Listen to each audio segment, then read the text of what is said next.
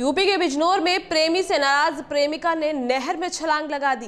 कई घंटों से गोदाखोर युवती की तलाश में जुटे हैं, लेकिन युवती अभी तक नहीं मिल पाई। कुंदनपुर गाँव में प्रेमिका ने नदी में कूदकर अपनी जान दे दी। वो भी महज इसलिए कि प्रेमी शादी करने से मुकर गया।